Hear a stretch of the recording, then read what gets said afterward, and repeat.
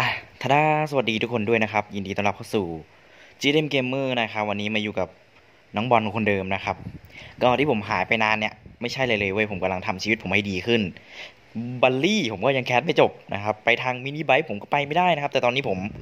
โอเคแล้วว่าผมจะทำอะไรนะครับผมจะเก็บตังค์ซื้อคอมเป็นอย่างต่อไปนะฮะที่ผมพูดว่าซื้อคอมเนี่ยผมจะซื้อนานแล้วนะแต่มันมีอย่างอื่นหลอกล่อใจผมไง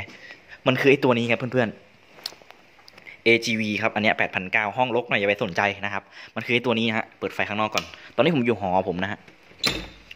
คันนี้นี่เองนะฮะปรับปรับปรับปรับโอ้ไฟไฟไฟไฟ เอานึกว่าบ้านปิดสิงปรามคันนี้ครับผม CBR 150R นะครับ ตัว 2019 นะครับ เป็น ABS นะครับ ตัว ABS นะครับ ที่แพงที่สุดนะครับ ก็คือ ABS มันจะแพงกว่า standard แล้วแหละฮะ เป็นลาย AP Honda นะครับ สีแดงนะครับ ไปออกมาประมาณ2อสวันแล้วแต่ไม่ได้ถ่ายให้ดูนะครับ ส่วน MSX นะครับ ก็ยังอยู่นะครับ ก็มีสติกเกอร์ใหม่แล้วก็อะไรใหม่หลาย ๆ อย่าง ผมก็ไม่ได้รีวิวลงนะครับ เพราะผมแต่งไปเยอะเหมือนกันละ ผมว่าจะคืนเดิมนะครับ คืนแบบคืนเดิมคือแบบ เอาอะไรเดิมกลับมานะครับ แล้วก็น่าจะขายนะครับ อันนี้น่าจะขาย อันนี้คือเว็บนะครับ ที่ผมเอาไป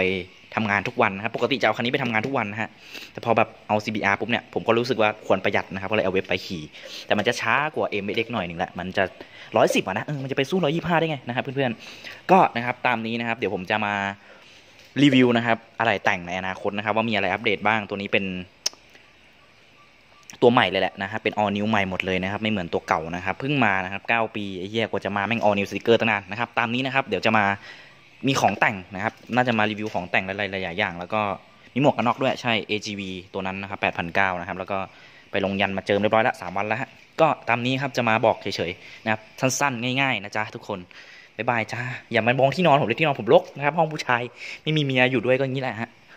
ชายโสดนะครับ ต้องโฉดด้วยนะครับผม ห้องลกเป็นเรื่องปกติของสายชดบายบายครับผมไว้เจอกันฮะ จุ๊บๆ